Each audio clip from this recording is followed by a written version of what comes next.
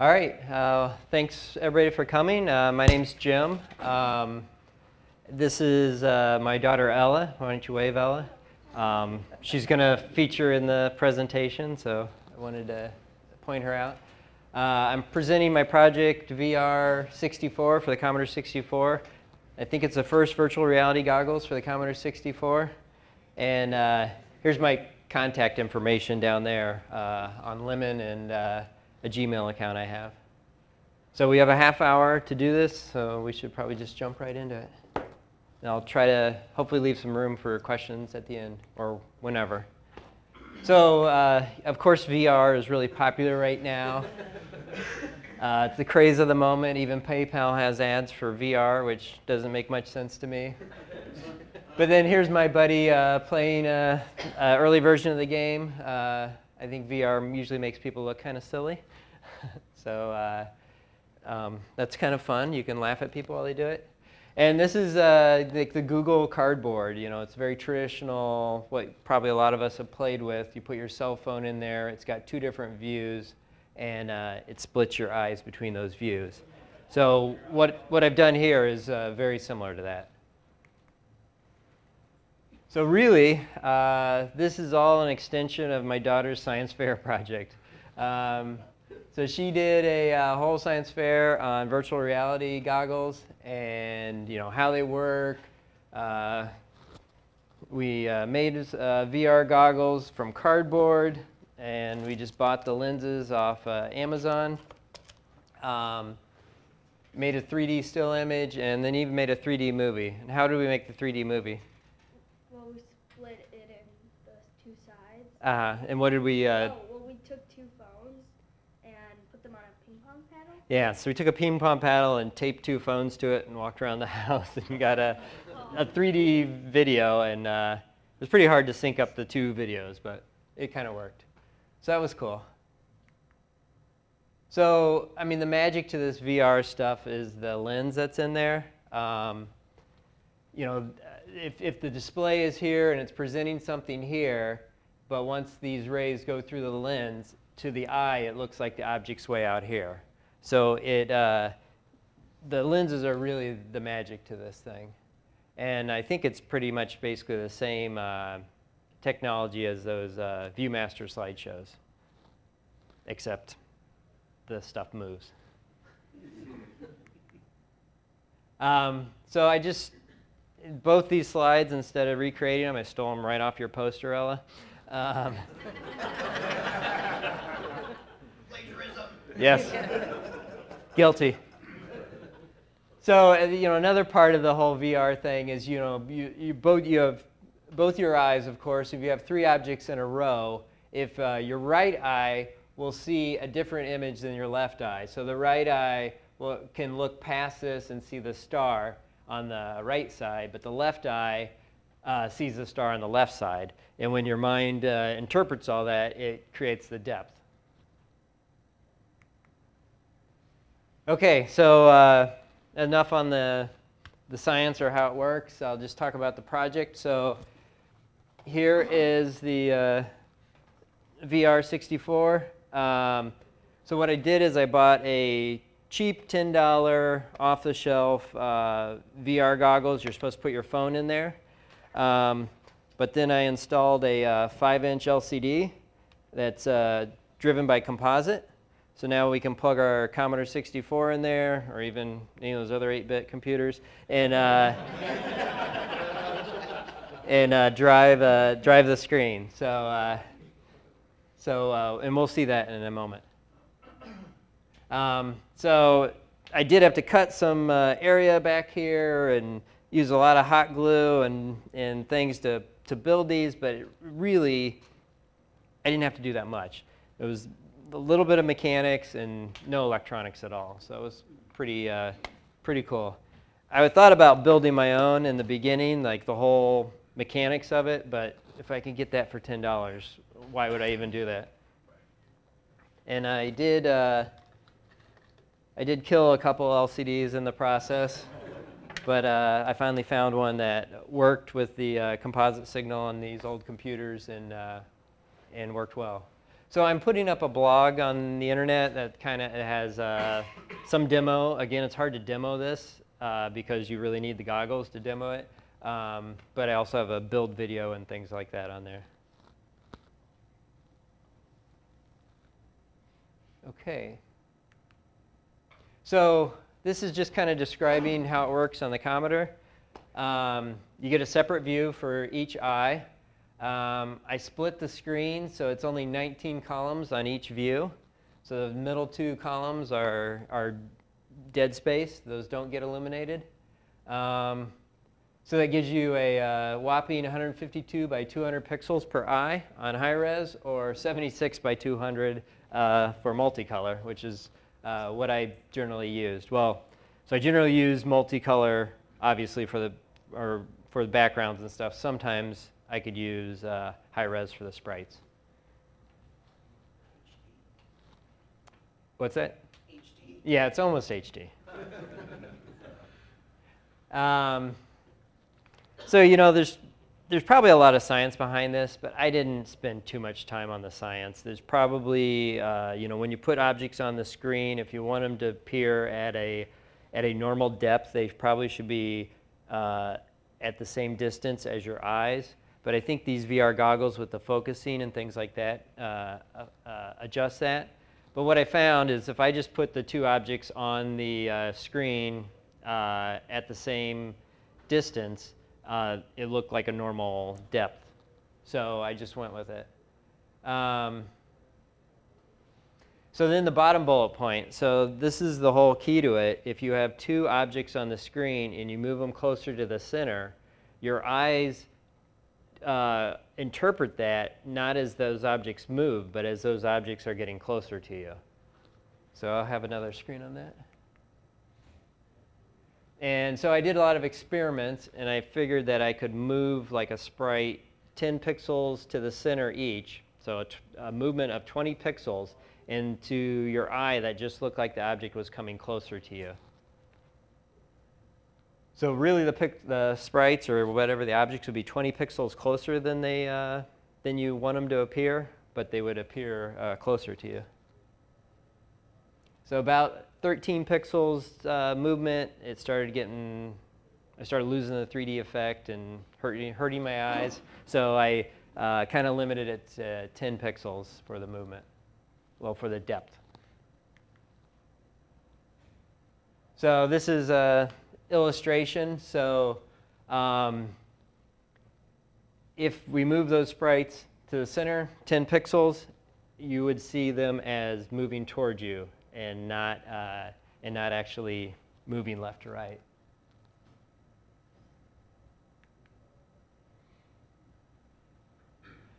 So I, in the beginning, I also moved, started with two objects and moved them away from uh, the eyes. Um, and that was creating a, a cool depth effect also.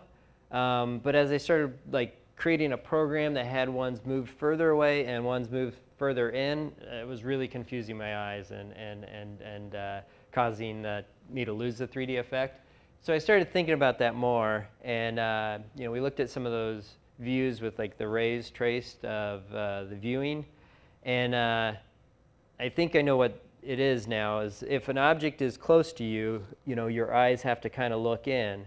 But if an object is way far away, your eyes kind of start to approach parallel, but they never go outward. So I ended up, uh, yeah, so I ended up not using that effect of moving objects away from the center uh, more than the normal position. Kind of makes sense? All right, so um, I want to do a demonstration. Uh, Evan. Evan volunteered to be our demo guy.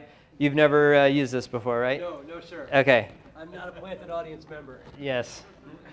I hardly know your name. So sit, sit down here and uh, are you you're familiar with the Commodore?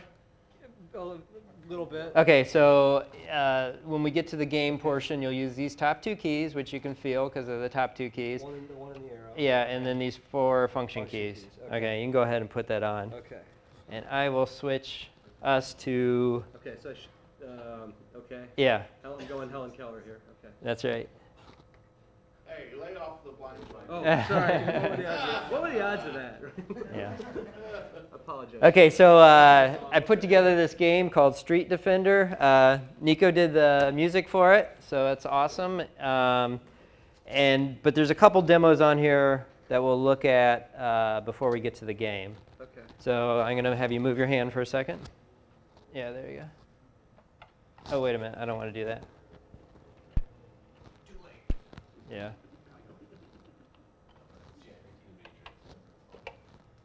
So uh, I made a video game, and we'll demo that in a minute, but I also tried to make some 3D images. Here, I'm going to go again.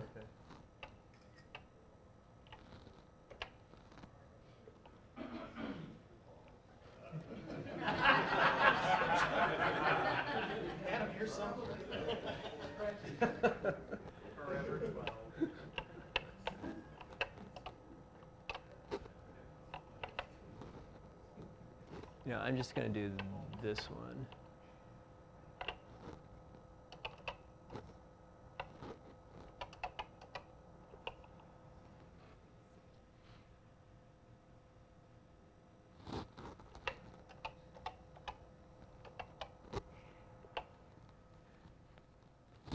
Okay, what do you see? Uh, a Commodore 64. yeah.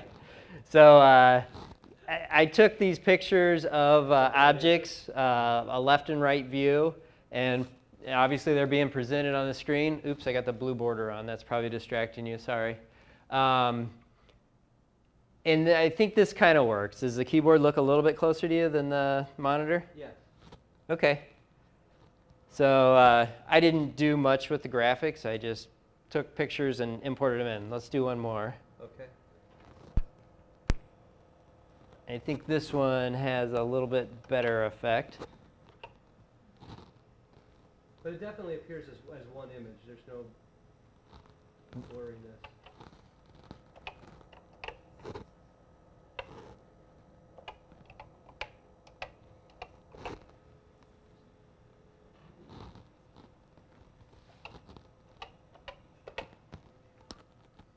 Okay, there's a bottle floating in front of my face. you know, to be honest, this happens more more often than you might think. So you can see on this, uh, it's Tabasco sauce, obviously. Um, the point on the uh, label is moved towards the center, so that's going to appear a little bit closer to your eyes. yeah. Okay, so let's move on to demoing the game. Okay. Get to the, the meat of it. I, I actually did those images last, and they kind of worked. Um, but certainly, I think it would be better if uh, I had found a program that would take a, an image and do more of a, uh, a high-res dithered version of the images. But uh, I just got the multicolor version there. So we're loading the game now.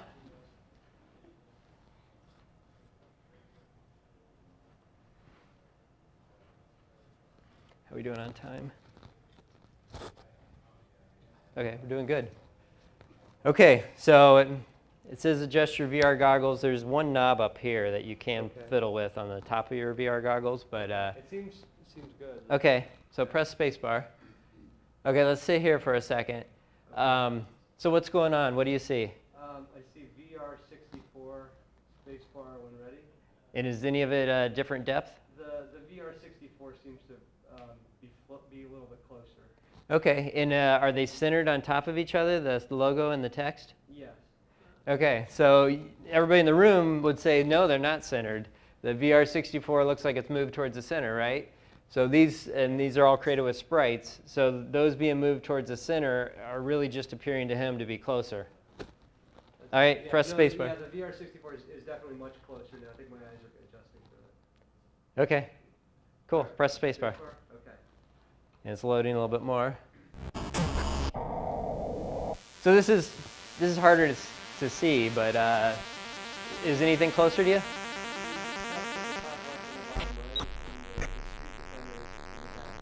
Okay, so yeah, so yeah.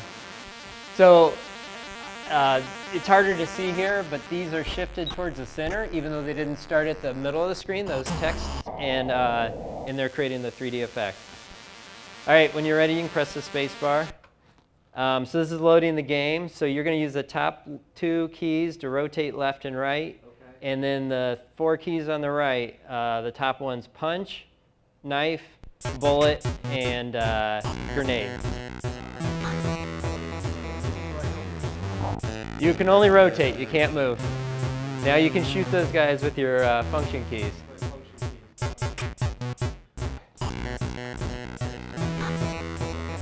So does it look 3D? So, uh, so, uh,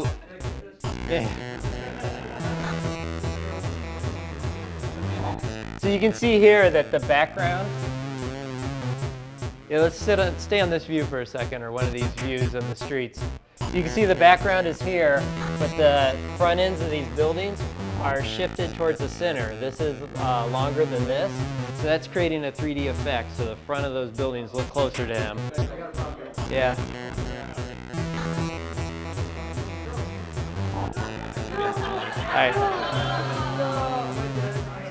Yeah, you've been retired. Yeah. So he got a score of 13. Um, so I'm gonna be demoing this game at the uh, at the station, and uh, I'm gonna have a contest today. Anybody who gets, whoever gets the highest score uh, gets a VR goggles headset. All right, so thank you for demoing. Oh, no, my pleasure. This is a good for anybody. That was really cool.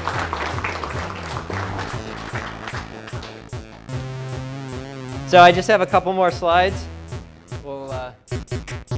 Turn off Nico's funky music.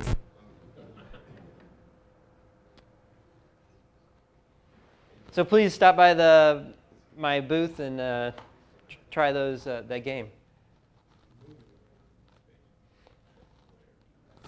Okay.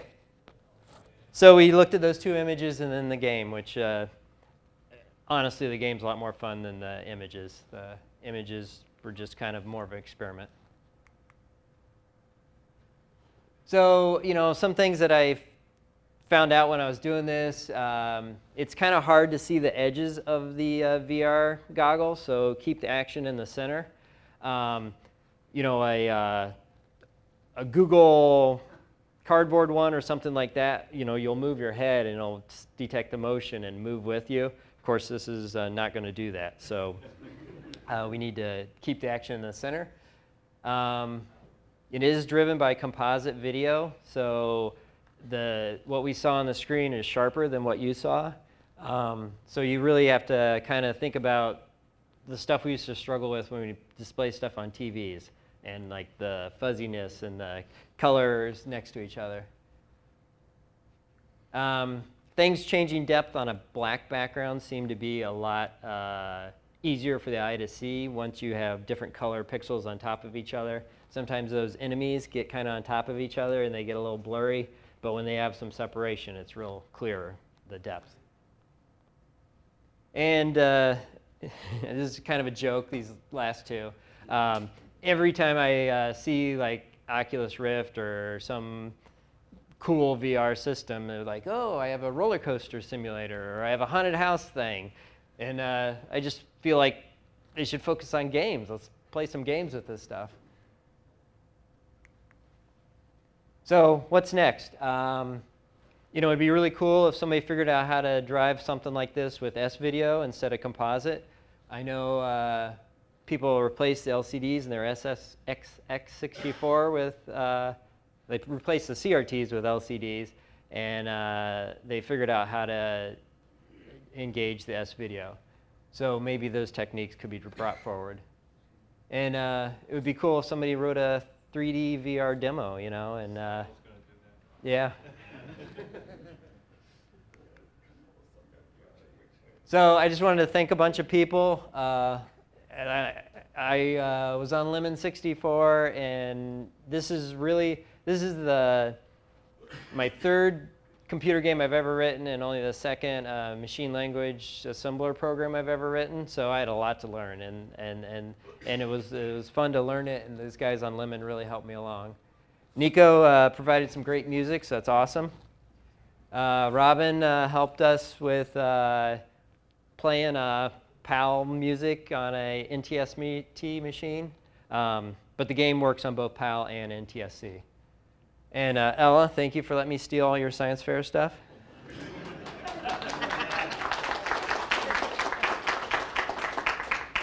and my wife, thank you for putting up with my midlife crisis hobby.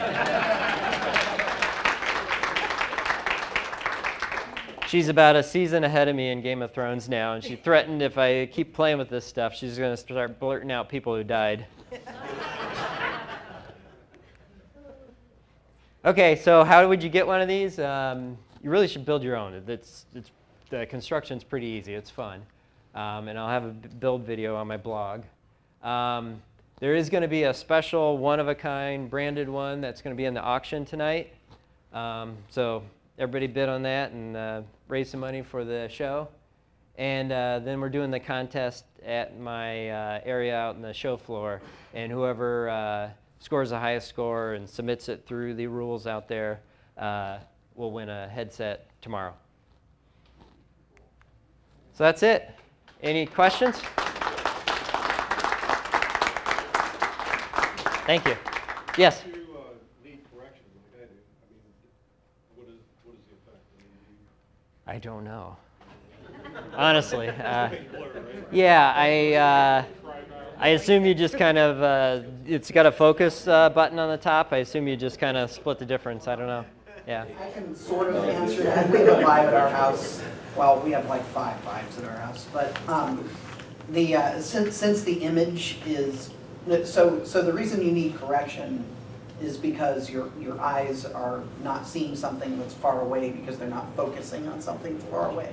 But in most VR headsets, the image is still right in front of you and designed to be beamed at you. So taking off your glasses is uh, usually okay, um, unless your vision's like really bad.